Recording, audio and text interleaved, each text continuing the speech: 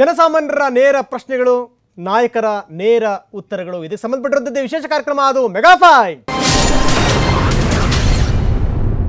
ಬನ್ನಿ ಇವತ್ತು ನಾವು ಮೆಗಾ ಫೈಟ್ನಲ್ಲಿ ತೆಗೆದುಕೊಂಡಿರುವಂತಹ ವಿಚಾರ. ಯಡಿಯೂರಪ್ಪನವ್ರ ಕಥೆ ಆಯಿತು. ಯಡಿಯೂರಪ್ಪನವ್ರ ನಂತರ ಮುಂದೆ ಏನು ಅನ್ನುವಂಥದ್ದು? ಅದು ಬಿಜೆಪಿಯ ಸ್ಥಿತಿಗತಿ, ಅದು ಸರ್ಕಾರದ ಸ್ಥಿತಿಗತಿ ಮತ್ತೆ ರಾಜ್ಯದ ಸ್ಥಿತಿಗತಿ ಏನು ಅನ್ನೋದ್ರ ಬಗ್ಗೆ. ಇದ್ರ ಬಗ್ಗೆ ಚರ್ಚೆ ಮಾಡಲಿಕ್ಕೆ ಇವತ್ತು ನಾಲ್ವರು ಮಹನೀಯರು ವೇದಿಕೆ ಮೇಲಿದ್ದಾರೆ.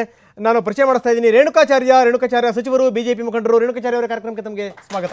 ನಮಸ್ಕಾರ. ಅದೇ ರೀತಿ ಮತ್ತೊಬ್ಬರಿದ್ದಾರೆ Basanagouda Patil Yatnal J D S ಮುಖಂಡರು, ಕೇಂದ್ರದ ಮಾಜಿ ಸಚಿವರು ಯತ್ನಾಳ್ ಕೂಡ ಕಾರ್ಯಕ್ರಮಕ್ಕೆ ಸ್ವಾಗತ.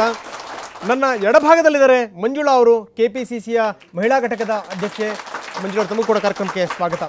ಮತ್ತೊಬ್ಬರು ಇವತ್ತು ಹೊಸ ಅತಿಥಿ ರೂಪಾ ಅಯ್ಯರ್, ನಟಿ, ನಿರ್ದೇಶಕಿ ರೂಪಾಜಿ ತಮಗೂ ಕೂಡ ಕಾರ್ಯಕ್ರಮಕ್ಕೆ ಸ್ವಾಗತ. ಜೊತೆಗೆ ತಾವುಗಳು ಕೂಡ ಬಂದಿದ್ದೀರಿ.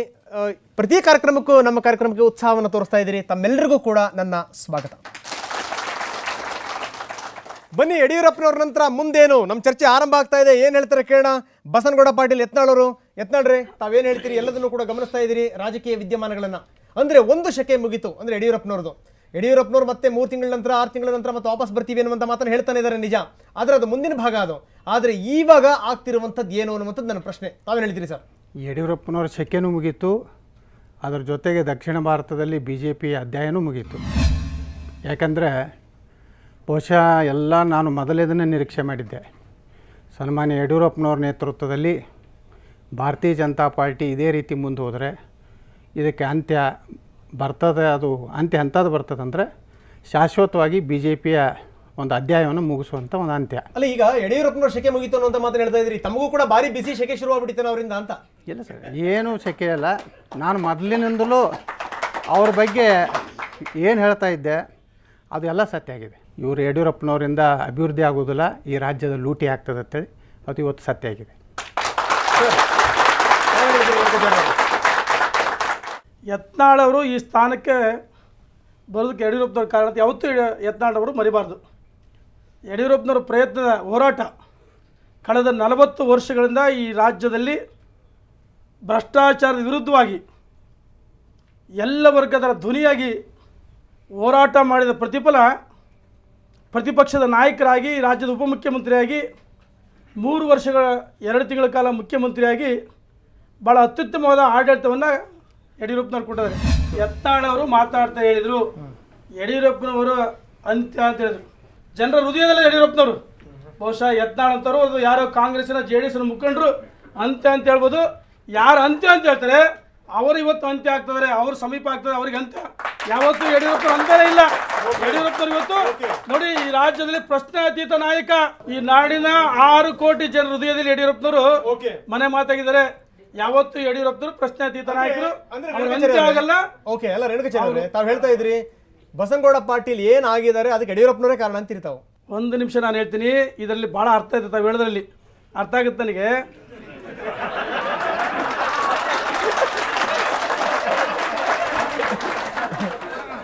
ಎರಡನೇ ಸರಿ ಮಂತ್ರಿ ಆದ್ಮೇಲೆ ಬಹಳ ಬಸವ- ಜನರ ನೀವು ಅಂತ. ಅಲ್ಲ ಇದಕ್ಕೆ ಮಂತ್ರಿ ಪದವಿ ಕಾರಣ ಅಥವಾ ಖಾತೆ ಕಾರಣ ಗೊತ್ತಾಗ್ಲಿಲ್ಲ.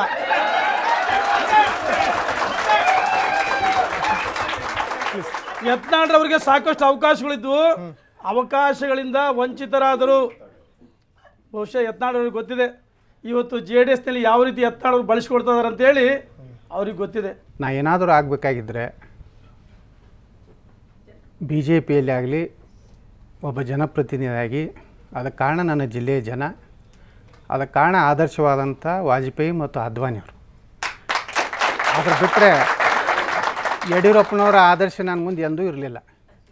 ನಾನು ರಾಜಕಾರಣ ಪ್ರಾರಂಭ ಮಾಡಿದ್ದು ನನ್ನ ರಾಜಕಾರಣ ಜೀವನ ಪ್ರಾರಂಭ ಮಾಡಿದ್ದು ಅಟಲ್ ಬಿಹಾರಿ ವಾಜಪೇಯಿ ಅಂತ ಒಬ್ಬ ಮಹಾನ್ ನಾಯಕರ ಒಂದು ನೇತೃತ್ವದ ಪಾರ್ಟಿಯಲ್ಲಿ. ಹೊರತು ಆ ನಾಯಕತ್ವದ ಹಿನ್ನೆಲೆಯಲ್ಲಿ ನಾನು ಒಮ್ಮೆ ಶಾಸಕನಾದೆ ಎರಡು ಸಲ ಲೋಕಸಭಾ ಸದಸ್ಯನಾದೆ. ವಾಜಪೇಯಿ ಅಂತ ಒಬ್ಬ ಒಳ್ಳೆಯ ನಾಯಕನ ಕೆಳಗೆ ಒಬ್ಬ ಮಂತ್ರಿ ಆದ ಯಡಿಯೂರಪ್ಪನವರು ಯಾವಾಗಲೂ ಆ ಸಮಾಜದ ನಾಯಕರನ್ನು ಮುಗಿಸೋದ್ರಲ್ಲೇ ತಮ್ಮ ಜೀವನವನ್ನು ಕಳೆದರು.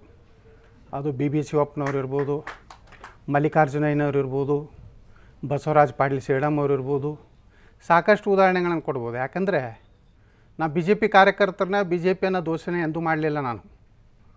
ನಾನು ಒಬ್ಬ ವ್ಯಕ್ತಿಯನ್ನು ಯಾಕೆ ದೋಷಣೆ ಮಾಡಿದಂದರೆ, ಈ ವ್ಯಕ್ತಿಯನ್ನು ನಾನು ತೊಂಬತ್ನಾಲ್ಕರಲ್ಲಿ ವಿಧಾನಸಭಾ ಸದಸ್ಯನಾದ ಮೇಲೆ ನಾನು ವಿಧಾನಸಭೆಯಲ್ಲಿ ಅವರ ನಡವಳಿಕೆ ನೋಡಿದ ಮೇಲೇ ಬಿ ಜೆ ಪಿಗೆ ಇಂಥ ನಾಯಕರು ಇರಬಾರ್ದು ಅಂತ ಒಂದು ಹೋರಾಟವನ್ನು ಮಾಡಿದಂಥ ಆದರೆ ರೇಣುಕಾಚಾರ್ಯರು ಪಾಪ ಅವರು ಮೊದಲಿನ ಹಿಡಿದು ಪಕ್ಷದಲ್ಲಿ ಇದ್ದಂಥವ್ರು. ಅವ್ರ ಬಗ್ಗೆ ನಾನು ದತ್ತಪುತ್ರ ಈಗ ಈಗ ದತ್ತುಪುತ್ರ ಆದರೆ ಅವರು ದತ್ತುಪುತ್ರ ಇದ್ದರೂ ಸಹ ಹೈದರಾಬಾದ್ಗೆ ಹೋದರು ಸನ್ಮಾನ್ಯವರು ರೇಣುಕಾಚಾರ್ಯರು. ಅದರ ನಂತರ ಚೆನ್ನೈಗೆ ಹೋದರು. ಅವಾಗ ಯಡಿಯೂರಪ್ಪನವ್ರ ಬಗ್ಗೆ ಯಾವ ರೀತಿ ಅವರು ಮಾತನಾಡಿದ್ರು ಅಂತಂದು ಈ ರಾಜ್ಯದ ಜನ ಈ ದೇಶದ ಜನ ನೋಡಿದ್ದಾರೆ. ಅದಕ್ಕೆ- ಸದಸ್ಯರು ಒಬ್ಬ ಯಜಮಾನ್ರ ಬಗ್ಗೆ ಮಾತಾಡಿದ್ರಪ್ಪ. ಆಮೇಲೆ ಒಂದಾದ್ರು ಅದ್ರಲ್ಲಿ ಏನಿದೆ ಪಾಪ? ಸರ್, ಕುಟುಂಬದ ಸದಸ್ಯರು ಮಾತಾಡೋದು ತಮ್ಗೆ ಅವಶ್ಯಕತೆ ಇದ್ದಾಗ ಮಾತಾಡೋದು ಅವಶ್ಯಕತೆ ತೀರಿದ ಮೇಲೆ ಮತ್ತೆ ಅವ್ರನ್ನ ನನ್ನ ತಂದೆಗೆ ಹೋಲಿಸ್ಕೊಂಡು ಮಾತಾಡುವಂಥದ್ದು ನಿಜಕ್ಕೂ ಗೌರವ ತರೋಂಥದ್ದಲ್ಲ. ಅದಕ್ಕೆ ರೇಣುಕಾಚಾರ್ಯರದು ನಮ್ಮದು ಏನು ವೈಯಕ್ತಿಕವಾಗಿ ಏನೂ ದ್ವೇಷ ಇಲ್ಲ. ಅವರು ನಾವು ಕೂಡ ಪಾರ್ಟಿ ಕಟ್ಟದವರು. ಆದರೆ ರೇಣುಕಾಚಾರ್ಯರು ಗೊತ್ತಿಲ್ಲ. ರೇಣುಕಾಚಾರ್ಯಕ್ಕಿಂತ ಹೆಚ್ಚಿಗೆ ಇವತ್ತು ಭಾಳಷ್ಟು ಪೀತ್ರಿಗೆ ಪ್ರೀತಿಗೆ ಪಾತ್ರ ಆದಂಥವ್ರು ಯಡಿಯೂರಪ್ಪನವ್ರ ಸಮೀಪ ಆಗಿದ್ದಾರೆ. ಪಕ್ಷ ಕಟ್ಟದವರು ಎಲ್ಲ ಒಂದು ಕಡೆ ಆಗಿದೆ ಇವಾಗ ಯಡಿಯೂರಪ್ಪ ಜೊತೆ ಜಗಳ ಮಾಡ್ಬೇಕು ಅವರು.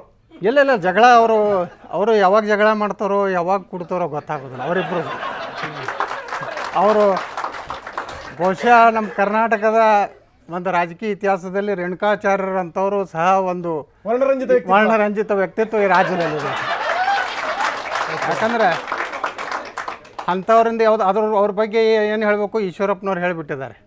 ರೇಣುಕಾಚಾರ್ಯ ಸೋಮಣ್ಣನೇ ನಮ್ಮ ಯಡಿಯೂರಪ್ಪನವ್ರು ಹಾಳು ಮಾಡ್ತಾ ಇದ್ದಾರೆ ಅದಕ್ಕೆ ನಾ ಹೇಳುವಂಥದ್ದು ಅವಶ್ಯಕತೆ ಆದರೆ ರೇಣುಕಾಚಾರ್ಯರಿಗೆ ಹೇಳ್ತಾ ಇದ್ದೀನಿ ಬಿ ಜೆ ಪಿಯನ್ನು ಕಟ್ಟಿದಂಥವ್ರು ಯಾರ್ಯಾರು ಇದ್ದಾರೆ, ಅವ್ರನ್ನೆಲ್ಲ ವಿಶ್ವಾಸ ತೆಗೆದುಕೊಂಡು ಹೋಗಿದ್ದರೆ ಬಹುಶಃ ಯಡಿಯೂರಪ್ಪನವ್ರು ಐದು ವರ್ಷ ಮುಖ್ಯಮಂತ್ರಿ ಆಗಿರಲಿಕ್ಕೆ ಸಾಧ್ಯತ್ತು ಒಳ್ಳೆಯ ಸರ್ಕಾರ ಕೊಟ್ಟಿದ್ರೆ, ಪ್ರಾಮಾಣಿಕತೆಯಿಂದ ಇದ್ದರೆ ಬಹುಶಃ ಯಡಿಯೂರಪ್ಪನವರ ಭಾಷಣಗಳನ್ನು ನಾನು ಇಪ್ಪತ್ತು ವರ್ಷ ನಾನು ನೋಡಿದ್ದೇನೆ ಭಾಳ ಸಮೀಪದಿಂದ.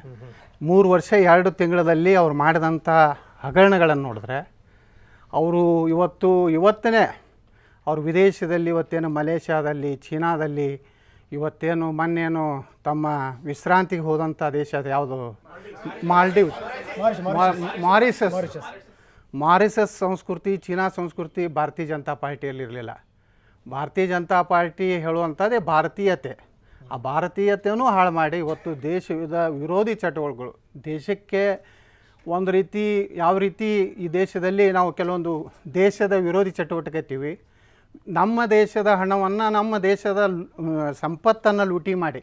ಇವತ್ತೇನು ವಿದೇಶದಲ್ಲಿ ಆಸ್ತಿ ಮಾಡ್ತಾ ಇದ್ದಾರೆ ಇದೂ ಒಂದು ನಾವು ದೇಶ ವಿರೋಧಿ ಚಟುವಟಿಕೆ ಅಂತ ಹೇಳಿ ಇವತ್ತು ನಾವು ತಿಳ್ಕೊಬೇಕಾಗ್ತದೆ. ಅಂಥ ಒಬ್ಬ ದೇಶ ವಿರೋಧಿ ಚಟುವಟಿಕೆಯನ್ನು ಮಾಡಿದಂಥ ವ್ಯಕ್ತಿಗೆ ಬೆಂಬಲ ಕೊಡೋದಂದರೆ ಅವರು ದೇಶ ವಿರೋಧಿ ಚಟುವಟಿಕೆ ಮಾಡದಂತೆ. ಓಕೆ ಓಕೆ ಸರ್ ಅವರು ಮಾತಾಡ್ತಾ ಹೇಳಿದರು ರೇಣುಕಾಚಾರ್ಯರು ಯಾವಾಗ ಜಗಳ ಮಾಡ್ತಾರೋ ಯಾವಾಗ ಒಂದಾಗ್ತಾರೆ ಅಂತಂದು. ಹೈದರಾಬಾದ್ಗೆ ಹೋಯ್ತು ನಮ್ಮ ಕುಟುಂಬ ಸಮಸ್ಯೆ. ತಂದೆ ಮಕ್ಕಳಲ್ಲಿ ಭಿನ್ನಾಭಿಪ್ರಾಯ ಬರುತ್ತೆ. ಗಂಡ ಹೆಂಡತಿ ಮಧ್ಯೆ ಭಿನ್ನಾಭಿಪ್ರಾಯ ಬರುತ್ತೆ. ಅದು ಎಲ್ಲಿವರೆಗಂತ ಎಲ್ಲರಿಗೂ ಗೊತ್ತಿದೆ.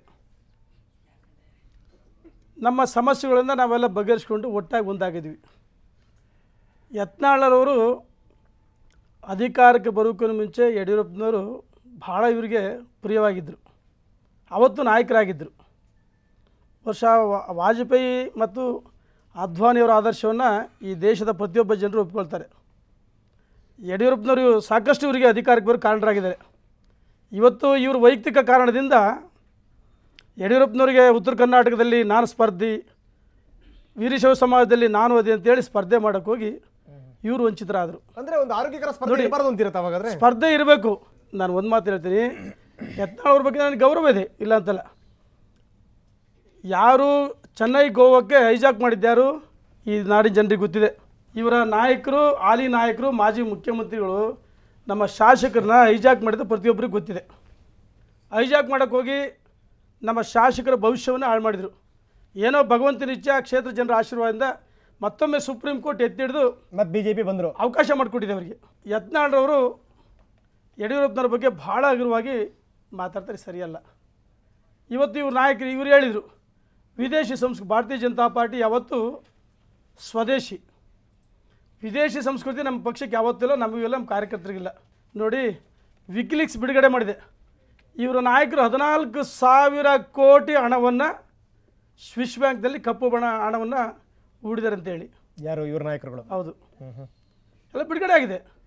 ಜೊತೆಗೆ ಕಾಂಗ್ರೆಸ್ಸಿನ ಅನೇಕ ನಾಯಕರು.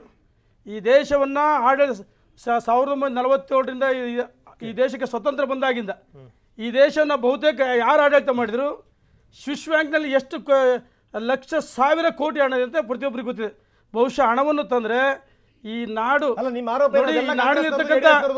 ಈ ನಾಡಿನಲ್ಲಿರ್ತಕ್ಕಂಥ ಎಲ್ಲ ಸಮಸ್ಯೆಗಳು ಬಗೆಯಿರುತ್ತವೆ ಭಾರತ ದೇಶ ಸಮೃದ್ಧವಾದ ದೇಶ ಆಗುತ್ತೆ. ಇವತ್ತು ಸ್ವಿಸ್ ಬ್ಯಾಂಕ್ನಲ್ಲಿ ಹಣ ಇಟ್ಟಿದೆ.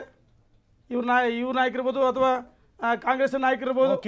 ನಮ್ಮ ಪಕ್ಷದ ಮುಖಂಡರು ಅನೇಕ ದಿವಸಗಳನ್ನು ಹೋರಾಟ ಮಾಡಿದರೆ ಹಣವನ್ನು ವಾಪಸ್ ತರಬೇಕು. ಈ ದೇಶಕ್ಕೆ ಇರ್ತಕ್ಕಂಥ ಅನೇಕ ಅಭಿವೃದ್ಧಿಗೆ ಉಪಯೋಗಿಸಬೇಕು ಅಂತ ಹೇಳಿ ನಮ್ಮ ನಾಯಕರು ಅಂದ್ರೆ ನಿಮ್ಮ ನಾಯಕರದ್ದು ಯಾವ್ದೋ ಹಣ ಇಲ್ಲ ಅನ್ನುವಂತ ಮಾತನ್ನ ಹೇಳ್ತಾ ಇದ್ದೀರಿ ತಾವು. ಖಂಡಿತ ನಾನು ಹೇಳ್ತೀನಿ.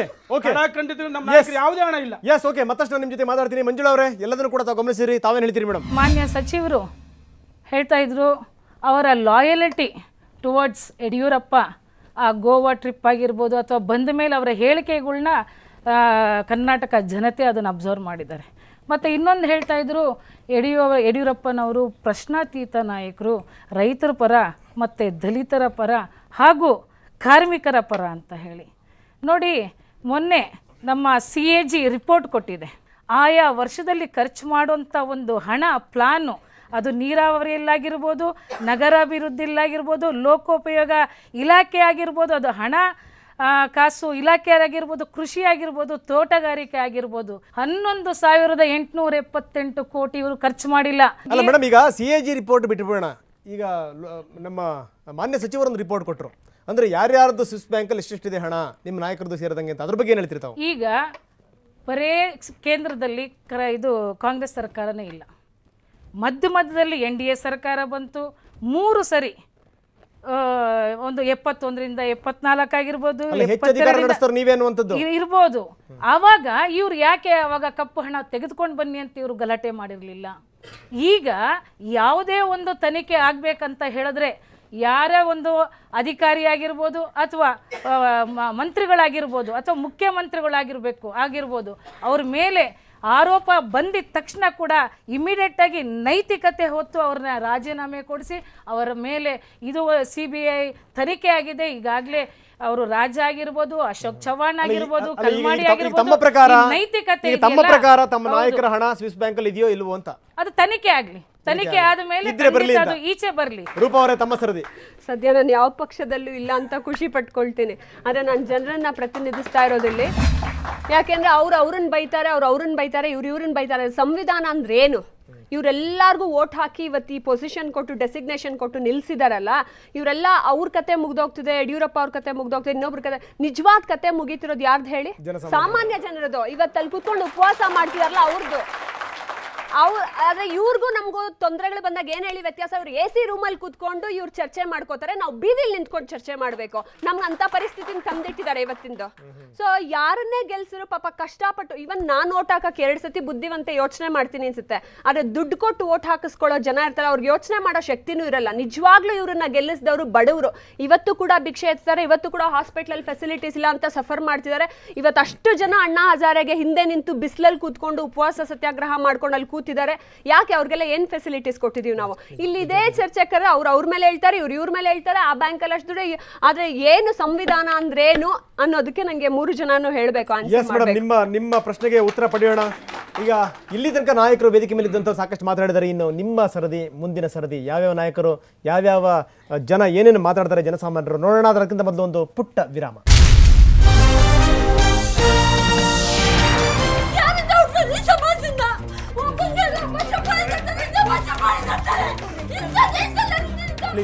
Please. Don't call me. Please, please.